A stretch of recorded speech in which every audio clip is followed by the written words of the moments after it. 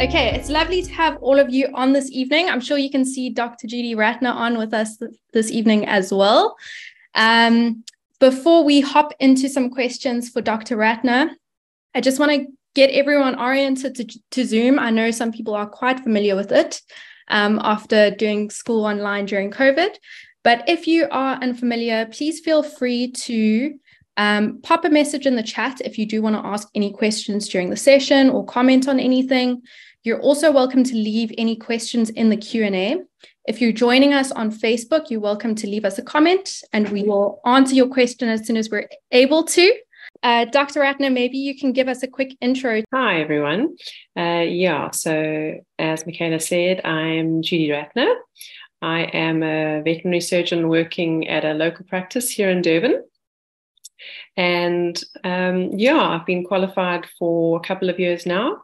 Um, little bit of a CV. I didn't go straight away to Onderstepoort. I did a BSc honours at the UKZN campus first, and then I started to work because I actually, long story short, didn't get in, and then I did get in, and then the funding was a problem, and so then I worked for a little bit for UKZN Wildlife, and then I managed to get a bursary to get into Onderstepoort, so that's when I went. So I did a slightly different route than most people would. Um, but yeah, still got in that way to the normal qualification. Lovely. Okay, so for those of you who haven't had a chance to read the bio that we sent out about Dr. Ratner over here, I know she's covered some of it, but what's really interesting is just how perseverant and dedicated she was to, um, in terms of getting her degree and and being able to do that. Um, Dr. Ratner started two businesses over her course of um, studying um, her two degrees that she achieved over um, the period of time where she was working towards her qualifications um, in order to fund her studies. And so, and we know how um, how intensive these programs are. And so it's just so wonderful to have you here with us this evening.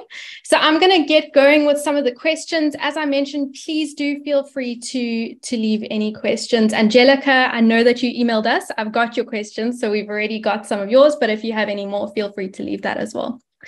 Okay, so um, Dr. Ratner is a close friend of mine. If I call her Judy, now you know, because I think that's naturally going to happen in the session. Um, maybe you could provide us just with an overview of um, your role as a veterinary surgeon. What are the kinds of tasks that you have to go through on a day to day? What are your responsibilities? Just a, a general idea. Okay, so when you qualify, you pretty much qualify as a jack of all trades and master of none. So you can do a little bit of horses, you can do a little bit of cattle, you can do a little bit of pigs, sheep, goats, wildlife, you can do a little bit of everything. And then once you finish, you tend to go into the stream of work that you want to pursue. So mine was cats and dogs. I thought I wanted to be a horse vet until I got to Onderstepoort. And then I realized very quickly I didn't want to be a horse vet. So um, by the time I qualified, I knew I wanted to do cats and dogs only. So I'm a cat and dog vet only. So if you speak to a wildlife vet, they're going to give you a very different day to day scenario than I will. But let me maybe run you through what we do. So there's different levels of practices. You're going to have your practice in the rural setting where it's a one person who does everything. And then you're going to have your very small practices, medium practices, your large practices where they've got multiple vets, specialists, nurses, the whole bank shoot. So we kind of fall into the small to medium. So my day is a combination of doing uh, consultations in the morning and afternoons. And then in the middle of the day, we do procedures. So, procedures is anything from taking x rays to doing abdominal and ultrasounds, echocardiograms, any surgeries that need to happen, including dental work too. So, anything you pretty much need to not be with a client for happens in the middle of the day. So, morning is consult over pretty much 10 till 3, we do procedures, and then afternoons consult again. Okay, that is so interesting. I never knew that.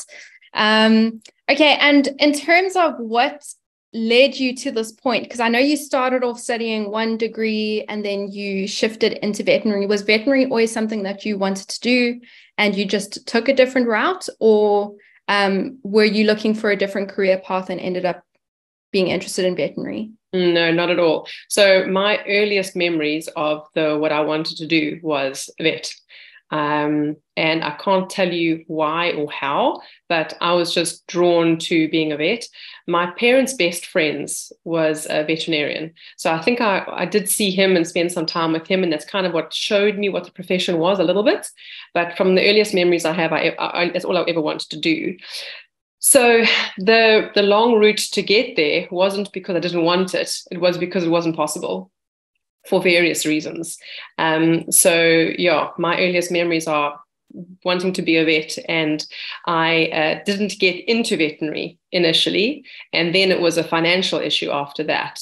So then i got into it but couldn't afford it. So it was always something i wanted to do. And funny enough when i was working in the other jobs um, i worked at a forestry and research uh, Agricultural Institute. I worked for KZN Wildlife.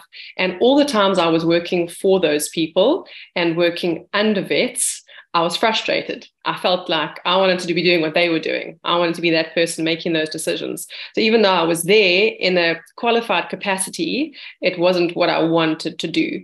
So it was kind of a case of just persevere, persevere, persevere. And eventually the door will open, and it did. Okay. Okay. Amazing.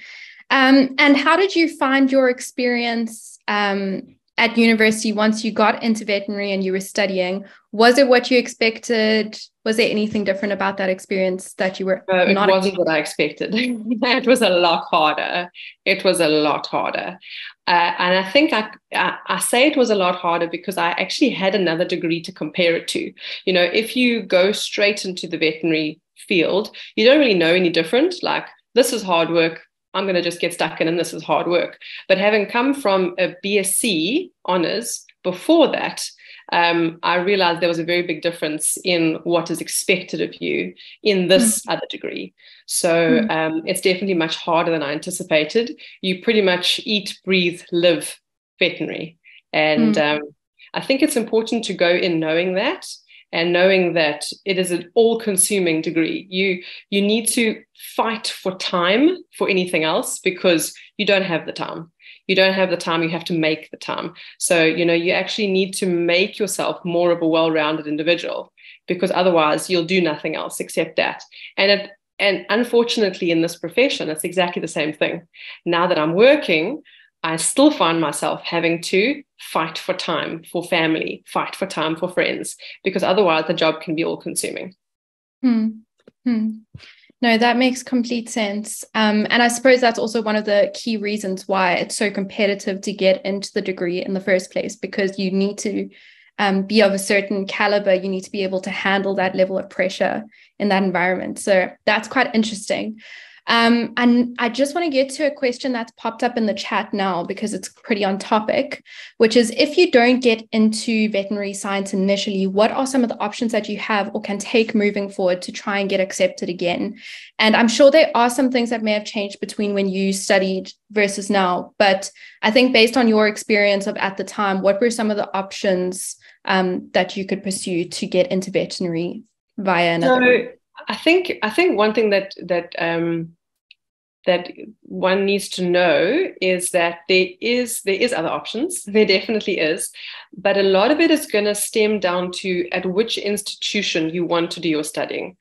Just to give you an idea, so the veterinary degree is a six-year degree, and it is I won't say easier because easier is not the right word, but if you go from matric to study at University of Pretoria, so Tukkies. They've got a veterinary specific BSc first year. So because they've got a veterinary specific BSc first year, uh, you're a lot I want better equipped, possibly is the word to say, to move into the or to move across to Onderstepoort. Um, I didn't do it that way for various reasons, but so I did my first year BSc at UKZN, but the same credits and the same subjects are they're not the same. So your if you're wanting to, if you're not sure if you want to be a vet, let's maybe say that, then I think you need to make sure first. Because once you start the process, it, it will lead to the next process, it will lead to the next process. And if you're going to do it my way, it's going to be much longer. Um, and you won't necessarily carry the credits. So, what they did previously was they said everyone must actually do a first year BSc, and then you'll soon figure out is this what you want to what, what you want to do. And if you say no, that's fine. Then you can do a BSc second year, BSc third year honors if you want to, and you can branch off. But the BSc veterinary at Tukkies is quite specific. So, and you must also know that if you take one across from another university, the credits are not the same. So, like I did that, and I had to spend a year filling in gaps mm. uh, that I wouldn't have had to do had I done it at Tukkies. Okay, wow. Um, in your experience, I know I just asked the question of was studying what you expected. Um, so now I would switch it over to now you've you started working um, in the veterinary field. Was it what you expected? What were some of the challenges that you you faced that you were not expecting to face at the time?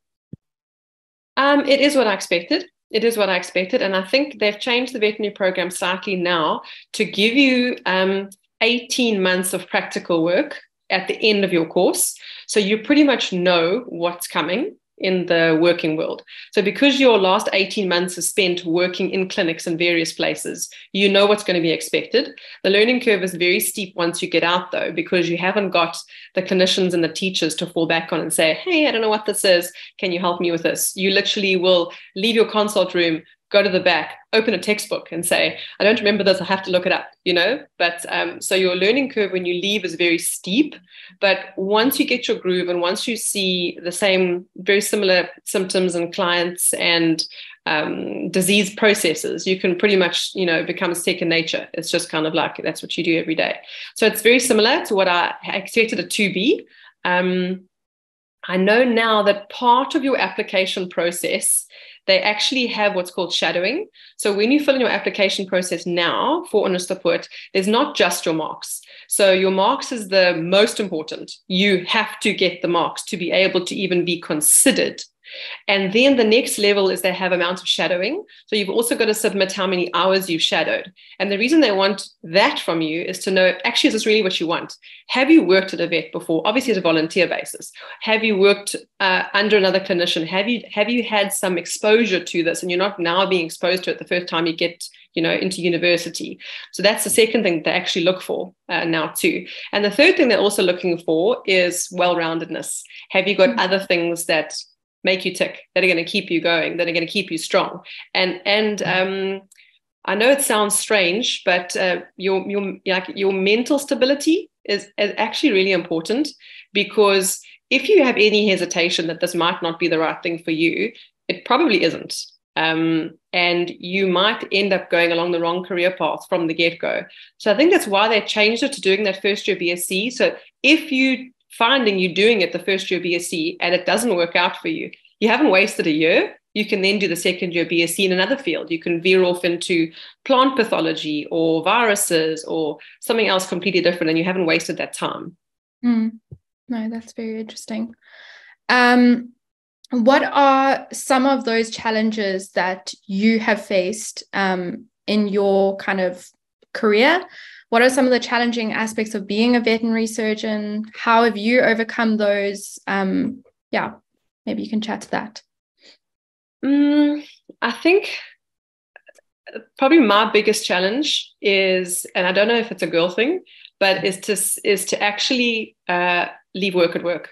So when you get home, you've got to be at home and present with family, or mm you must make time to go on holiday. And then when you go on holiday, be present on the holiday and don't try and work at the same time. So I battle to not think about work when I'm at home or when I'm away or when I'm somewhere else. So that's mm-hmm. one of the big challenges that I've had to try and say, okay, you know, put your phone down and just don't worry about work. Work's going to go on whether you're there or not, you know? So separating the two is one of my challenges.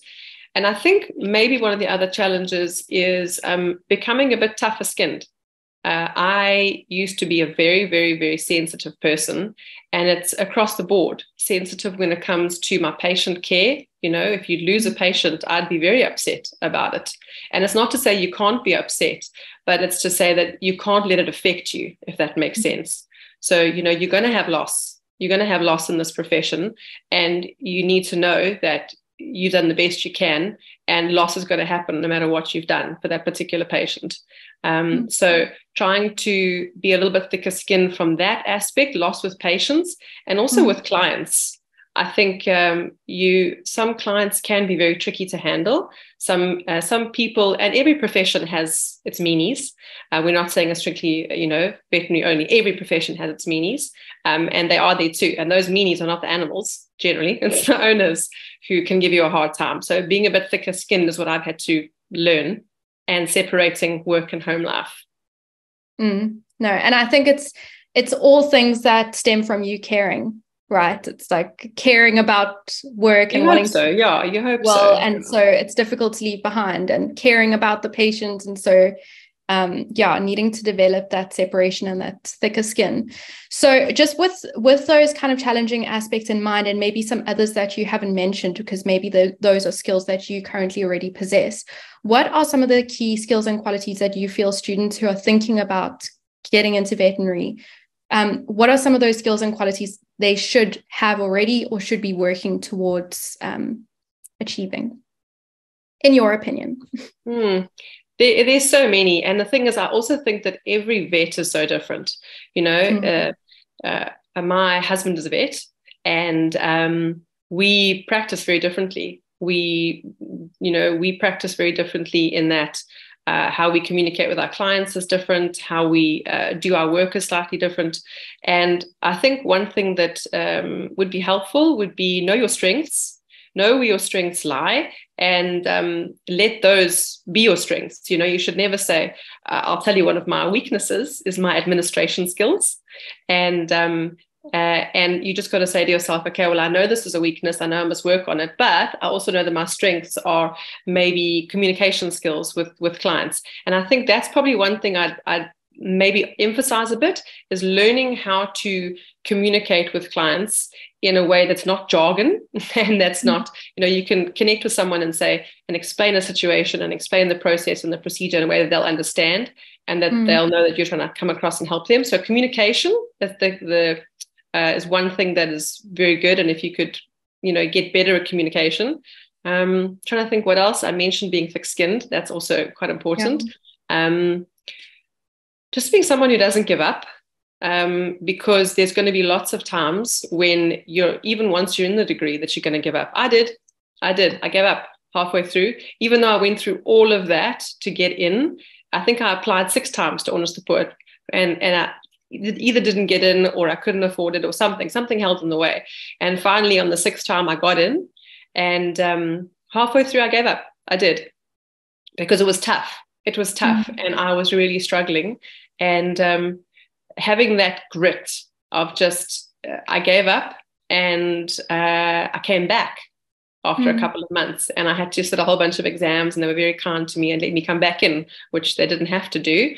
But just knowing that uh, even though it's going to be hard, don't give up because you know yeah. it, it's a you're one of the elite few who've been selected. I spoke to um, one of the administration ladies today at Onderstepoort, and I said to her, you know, how many applications do you get? And she was like, easily over a thousand. And there's only a hundred posts that are taken each year. So mm. if you're going to be one of those few who gets in, have the grit to stick it out and know it's going to be hard, but, but mm. um, you've just got to persevere and, and get through it because yeah you will get through it and it's tough but you want you were chosen for a reason to be there and um, your, your calling is to be there so just do whatever it takes to, to finish yeah no that's great advice um, I know that we haven't really chatted to this, but based on our discussions, that you have a particular interest in um, a specific type of surgery. So maybe you want to explain that a little bit, and then I have a follow up question. Um, so you can uh, because there's cats and dogs that I do, but there's also kind of um, different interests. So you can have an interest in medicine, um, and that means that you're interested in solving diseases. So if your animal has got diabetes, which they get, um, then you are interested in fixing it and solving it and managing it. Um, my interest is soft tissue surgery. So I really enjoy um, a lot of oncology work. So removing tumors, reconstruction, so large skin flaps and techniques, or like removing liver lobes and uh, lung lobes and things like that. So anything to do with soft tissue, not bone, um, because there's not uh, a huge array of vets around at the moment. About more than half have either left the country or the profession. You've kind of got to then start doing things you're uncomfortable with sometimes. So I do, I've started doing more orthopedics now, and it doesn't come naturally to me. I don't know if it's just because I'm a girl and I'm not used to using a saw and a drill and a, you know, so I've had to like really wire my brain around doing that. Um, so that that's me I have to teach myself after leaving OP. It doesn't come naturally to me, but yeah, I've had to now start doing orthopedic surgeries, and I'm now starting to enjoy it. But you never stop learning, and um, yeah, you just got to keep pushing yourself and and covering what's needed because there's no point if you can't do it and no one else is available to do it. So just got to mm. get it done. mm. That makes sense. So we actually had a question come through um, yesterday from one of the students who's joined us online from Angelica, and she was asking, do all veterinarians do surgeries, or can they choose to only do examinations on animals? That'll depend on who you're working for, or if you're working for yourself. So there are a lot of practices um, that don't don't have a theatre for example. So they will just do your consultations and then they can refer you across should your animal need surgery. Um, but if you're in a, a multidisciplinary practice like we're at, we've got the vets who don't like surgery. Um, and then they will say, please can you do my surgery for me? And then I'll do it for them. And because I like the surgery, I'll do it. So I think it just depends on where you work. You're going to have to qualify in everything, in all the animals and in all the techniques and in all the everything. But um, you're only going to actually start doing surgeries when you are working. It sounds quite scary. When you're at Onderstepoort, you only ever uh, do neuters and spays. That's all you do. That's all the surgery that you are doing where you're being shadowed. Once you leave, that is when you actually have your biggest learning curve because that's when you've got, you hopefully will be employed by someone who's going to teach you. And if not, you're going to have a, hope I can say this, a cadaver, and you're going to practice. You're going to practice if that's your interest. If it's not mm-hmm. your interest, look for a practice that will employ you that doesn't necessarily need a surgeon or mm. doesn't have a theatre or you can you can share with each other or open your own practice that's the options really okay um that makes a lot of sense. Okay so there's i mean the field of veterinary is so wide it's huge. and, yeah it's um, huge. yeah it's very interesting. Um, in terms of your day to day, I know that we obviously you studied um, at a varsity level and then you qualified and you're obviously learning on the job as you go. But I'm sure there are potentially advancements in some medical technology, um, uh, research, whatever it might be that could impact your day to day job. Is that something that you find happens pretty often? How often do you have to keep up with the trends in veterinary? So, um, when you qualify as a vet, you've got to be registered with South African Veterinary Council. And in order to maintain your registration, you have to you can't practice as a vet if you're not registered with the, with the veterinary council. So in mm-hmm. order to practice as a vet, you've also got to get a certain number of points every year. So you've got to do what, what's called continued professional development, and that is a way of forcing uh, you yourself and also the veterinary profession forcing you to kind of stay up to date and not um, and not dwindle. So you've got to get a certain amount of points, and that says, okay, well, you've been to so many lectures, you read so many articles, you've um, whatever whatever it is, and then every now and again you get audited, and um, and that's usually on a three year cycle. So then they're going to check you that you have actually stayed up to date. There are loads of things that are happening in the um, human medical world that haven't come across to veterinary yet, unfortunately. And it's mainly because that's where the, a large portion of funding has been pumped into making these devices and making the various things as for people. And mm. a lot of the times we are using the same medications, um, but the dosages are just different. Um, and then there is animal specific medication too. So obviously that's not available to people.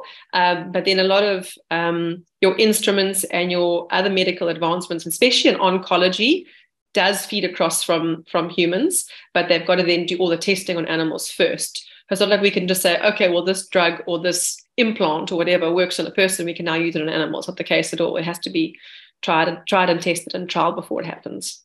Hmm. Oh, that's interesting. Um, yeah, I'm going to pivot quite a bit now. Um, I know that there's an unspoken part of the veterinary world that's not necessarily the most positive that people don't really talk about. And I think it is important to highlight a bit of some of the dark sides of veterinary in terms of um, dissatisfaction with with jobs that that is quite common in the field but i know you'll have a lot more insight so maybe you can speak a bit to that now so as i said earlier um, let's just say we've got uh, over a thousand applicants to get in then once you get your 100 that's kind of starting in your first year or so the maximum capacity Onderstepoort in the moment i think she said is around about 180 um, mm-hmm. so they can get people who join in from other um, criteria. So your postgraduates will form into a different field. But the majority at the moment is, let's say, a class of 180 for the whole country. That's all that's qualifying. And then once they qualify, you're then going to realize that the majority of vets are women. Uh, and I think one of the big reasons for that is I think a lot of girls are more driven to the academia side of things. So their marks are good, but the women are the ones that leave to have children. Um, so they're going to then say either they're going to take a maternity leave or they're going to take a maternity leave and not come back. Um, so a lot of the people who are qualifying no longer work. And a lot of it is because of that. Uh, the other reason is because once you actually get out into the field, you realize the hours are tough, the clients are tough, some of the animals are tough. And um, you'd rather not be a practicing veterinarian, but you can go into other fields. So do, don't be disheartened in thinking that, okay, well, if I don't like doing surgery, I don't, I don't have to be, I don't want to be a vet, or I don't want to deal with people on that aspect. Even just having the qualification can lead you across uh, multiple levels. Like my one of my closest friends has gone into pharmaceuticals, so she's in the veterinary pharmaceutical uh, department, and um, for a very big pharmaceutical company, she works eight till four. She's very happy in her job, but she hasn't touched an animal since she left Onderstepoort. So, like there is other avenues you can take, there, but uh, there are a lot of people that don't continue to be a vet because of that either mm-hmm. because of having a family or because you want to immigrate and leave the country and practice over there. And then there's also the other side of things where you don't manage. You know, um, I have lost a couple of classmates to suicide. And I know that in the veterinary industry, there is a lot of suicide. And I think it also boils down to having that balance. And that is why they've made it one of their criteria now, is because they've recognized that the suicide rate in veterinarians is high. And it's it shouldn't be. And um, it's got to do with making sure that you're mentally able to not only do the qualification, but then do the work at the end of the day, and that you are, are more well rounded so that you're not just eating and breathing and living this uh, work all day because it can be all consuming. And yeah, that, that's, that's pretty much the worst thing that can happen. And it has happened and it is happening. So mm. it's a very real thing that we need to know about and, and look out for in friends as well who are there. Yeah, no, so, so important. Um, and yeah, I think it's often unspoken. People like to view veterinary um, as a field as um, such a I don't know, a light-hearted kind of. I get to yeah. I think a lot of times and, everyone just thinks you you're sitting on the floor playing with puppies, and you're not. Yeah. Um, but that is worth saying. I think uh, if a lot of people who are thinking of going into the veterinary field might be confusing it with veterinary nursing um, because your veterinary nurses are the people who are mainly with your animals all day, every day. So they are the ones who are, you know, caring for them, feeding them, giving them medication, being mm-hmm. the one who who pulls them through a lot you know the veterinary nurses are the hands-on. And um, it's not to say that if you get the really great marks you've got to become a vet. That's not the case at all. It's actually where your passion lies. So the nurse who works for us at the moment she was dux of her school. She could easily have become a vet but she came and shadowed for a bit in our practice and she soon realized that she didn't actually want to be a vet. She wanted to be the person who actually looked after the animals and helped mm. them recover after the surgery and made mm. sure that they got all medication they did. So vets, unfortunately, uh, depending on how big your practice is or how hands-on you are, you're, you're pretty much making a lot of decisions, which are really important, and you are hands-on. But your nurses are the ones who are caring for the patients all day, every day, and and the veterinary nursing has changed from a diploma to a degree now. So not only can you get a degree in it, you can also now do postgraduate in nursing too. So if that's more of what you're thinking it is, um, then that's something worth considering because yeah. it's, it's really it's internationally renowned it is internationally recognized and it's a degree now too with postgraduate opportunities you can't change from being a vet nursing degree to a nursing degree to a veterinary degree you can't change you know you'll have to go back uh, and start again. So, but it might be worthwhile in if you're trying to decide, well, which person are you? Are you the person who wants to be on the floor with the animal in your arms, recovering, you know, making sure they're well, uh, then maybe vet nursing degree is more what's your calling as opposed to being a vet. Hmm. No, that's that's so good to know. And I think a lot of people overlook the vet nurse um, qualification mm. Versus, mm. and and you know the first thing you think of is a is mm. becoming a vet. Mm. Um, I think it's hard as a student in school to really understand the depth of a lot of um, career categories. Um, and veterinary science is such a broad um, field when you really start looking into it. Mm-hmm. Um, just taking a turn for the more positive now. Okay. Um, could you share any memorable or maybe rewarding experiences that you've had um, in your season of being a vet? There's actually too many. I'm really lucky in that. Sure. Um, there's so many. There's so many. Like just to be able to uh, pull an animal through who's really sick who you really think is not going to make it or you know have an animal come in that's been knocked by a car and then be able to go in and fix it and um, every single day is rewarding every single day is rewarding make no mistake um, i don't think i would carry on if it wasn't. And you get that warm fuzzy feeling when you know when when you when you're able to fix something and you're able to help them and also i think um, the the animal human bond has changed it's mm-hmm. uh, a long time ago they they didn't have the the level of bond you know animals used to be outdoors we used to be indoors but now you know animals are sleeping in, in people's beds they're part of the family and mm-hmm. they are they need they, they are just as loved um, by the owners as their own children are. Sometimes they replace the children, you know. So you've got to know that, you know, you're treating someone's child every single day. And it's really rewarding when you can turn that around. So I think every day there, is, there isn't a particular one that I can say uh, that stands out more than any. But um, yeah, no, just every every single day. And and and if you are going to the vet at the moment, just always uh, like thank your vet you, because a lot of the time you you don't realize how much uh, you know they go home and worry about your dog that they saw today you know? They they're not switching off. They're saying i hope i did the right thing. I hope that animal's going to make it. And yeah it's every every day is rewarding. There's nothing i can say in particular sorry. No no that's that's great. I mean yeah really good to know um I do want to get to one of the questions that we had come up from Angela as well. She wanted to know whether physical science was a required subject um, to getting into veterinary in the first place. So your only three required subjects is science, maths, and English. So biology is not a requirement. Um, but physical science definitely is. Biology is a requirement for animal uh, veterinary nursing. Um, I would say that if you are going to get into veterinary, the triple science package is recommended, though. So, your math, science, and biology, just to stand you in good stead. But mm-hmm. yeah, to answer that question, science is definitely needed, and it's um, eh, it's it's one of the tough ones, especially chemistry I didn't do very well in chemistry at all, which is why I never got in twice, is because I didn't manage my chemistry. But you know, eh, even if you're not very good at science, you just actually have to get it to get in, and there's not much thereafter, so it's not too bad. Hmm. no, that's that's really good to know. Um, okay, and then I I have another question that's popped up in the chat um, which is do you have any regret, regrets about this career or field of study? No, no. and uh, I, for whatever reason, I knew I wanted to do it since I was little. And um, the very first operation that I watched, I was six, and I'll never forget. It was a femur head and neck excision, and uh, I remember standing in the operating theatre because my parents' friend was a vet. He let me go. Don't know why, but he let me come in and watch the op.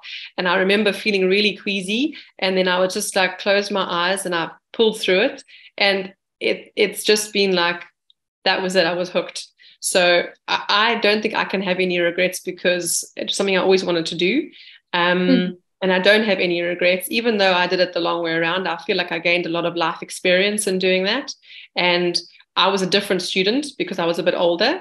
Um, and I was working at the same time, but that's okay. You know, at, by the time you are at the university level, your individualism is um, is more appreciated, and it it helps. I think at yeah. school level, a lot of uh, teachers in schools try to make you all conform to be the same person. And at university, it's the very opposite, especially mm-hmm. at, at Onderstepoort. It's the very opposite. The more unique and the individual you are, and the more your your strength can play into somebody else's weakness. So, yeah, just very different, too. No, that's that's so good to note. Um, I do want to give if anyone does want to ask any questions, now would be a good time to type your question into the, the Q&A or the chat. Um, while I end on, on my final question for you, um, which is what advice would you give to students who are considering a career in veterinary science? Any last words of advice? No, I just think if you if you really make sure that you really want it that's actually what I'm going to say. Make sure that they, you've done your due diligence in knowing what's required of you. You've done your due diligence in knowing um, what's expected. Some shadowing of uh, vets. Most veterinary practices will take school levels, even if it's just for a day or two, um, and just see that this is what you want. And if it is what you want, just just do it. Just do it and don't give up because um, it's worth it at the end of the day. It really is. And uh, as I said, even if you don't end up being the practicing veterinarian like I am, there's so much that's open to you internationally. And uh, this this degree, veterinary and veterinary nursing degrees, will always have job opportunity. Always. This is something that's one of those skill sets that is needed everywhere. So you'll always be able to to get a job. So in this day and age where a lot of things are changing and employment rates are unemployment rates are so high that's at least one thing that you can uh, be guaranteed with in life that there will be employment out there too. So if it's something that you want just stick with it um, and know what you're getting in for. And uh, if you need help ask for help from however way way or form friends family colleagues other veterinarians, whatever. Everyone's everyone's in it together, and everyone knows what it takes to get through it. So everyone's always there to help each other. Hmm, that's amazing. Um, okay, so I don't see any additional questions coming through. You are always welcome to email info at advantagelearn.com if you have a question, a burning question on your mind this evening, so that we can get um, Dr. Ratner to, to help us with an answer for you before we, we send through an email. We always do a summary email um, after doing a session like this. So you'll have some um, information that we'll send through to you. Oh, sorry, I've just seen a question. Um, what is the min- minimum APS score you should achieve to be accepted? I don't know, Dr. Ratner, if you know that off the top of your head. What is an APS score? That's different to my. Yeah. So I think, Aziza, let's put that in the email to you guys. We'll make sure to get a proper response um, for you. Um, but I would say, honestly, um, for veterinary, it's so competitive that you really shouldn't be looking to hit a minimum. Mm that's that's my um, take on it. I've only ever heard, I'm sure Dr. Dr. Ratner can attest to it. Um, you can hear how many times that she's had to apply into the program. It is a highly competitive degree, so you really have to be top, top, top um, results to to get into veterinary in the first place. I'm happy to give you um, uh, the uh, I'll leave it with Michaela. The veterinary um, administration and application email. Um, when I discussed everything with her today, she said she said that she was happy to put it on this platform and that you could email her and ask exactly those kind of questions. But there is also a brochure that Michaela said that she'll send out afterward, which gives a lot of information, detailed information on exact scoring systems and how what you need to get in and so forth. So we'll send both of those things off as well. Perfect. Um, and then Aziza also has another question, which is Is it easier to get into vet nursing rather than to become a vet? You mean get into vet nursing instead of the veterinary degree? Yes. um, I, I think it's going to depend on the amount of applications. I would think it's very similar, but mm. I don't think the veterinary nursing has as many applicants as the veterinary degree does. But that might be something that you chat to um, Leandria about. Yeah, she administrator.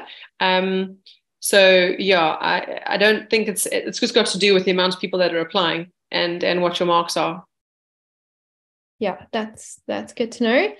Um, Adi has a question as well. If you fail to obtain the requirements to be accepted into the field the first time, are there any ways to reapply?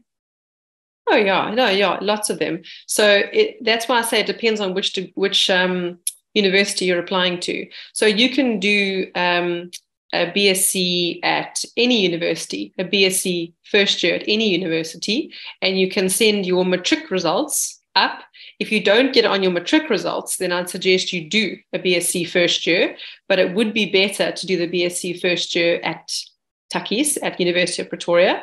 But if you don't, you can do it at any university and then reapply. So you can reapply every single year, like I did, until eventually you get in um, and and or it, you know it might be a mark thing it might be um, they do have different categories. So like as i said i fell into the postgraduate category and i think there's like 10 applicants that can apply in the postgraduate level and i think there was only three of us who applied.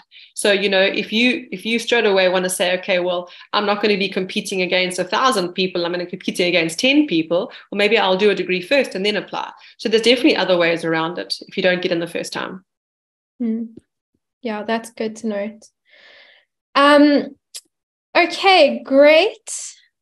We do have another one. Sorry. So, it's is okay. it important to have extra curriculum activities on your portfolio? Yes, yes. So, they look at a number of things. First of all, your marks.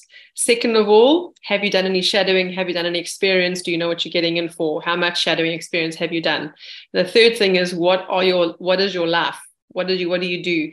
Do you belong do you sing? Do you kayak? Do you what do you do? They want to see all of that. They want to know that you're a well-rounded individual and that you can cope with the stresses and the pressures and still have an outlet. So yes i and you'll see when you're doing the online application that is one of the things they ask you is what are the other things that you do? And if you can do those things and do them well that's helpful you know belong to certain clubs and things like that because they know you're dedicated to something else and you're also going to make it an important part of your life not just veterinary I just wanted to make you aware. I know a lot of you are clearly interested in veterinary and are most likely high achieving students that are looking to do as well as possible. So I just wanted to make you aware of our exam preparation online courses, um, which we do have available across uh, physical science, life science, accounting, um, mathematics, you name it. So you guys are welcome to check that out. I'm going to leave a link in the chat if you are interested. It will also be in the follow up mail. Um, and then we also have a self-study maths resources avail- uh, resource available um, in the form of video lessons and that sort of thing that you can use as a resource on an ongoing basis, not just in exam times. And so I'm going to send that through um, in the chat as well.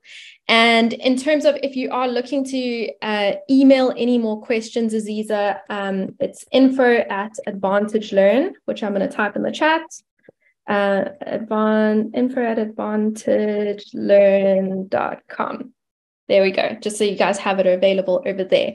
So thank you so much for joining us this evening. If you are keen to hop off, you are welcome to at this point. If you do have any more questions, please stay on. We'll be on for another two or three minutes to see if anyone does.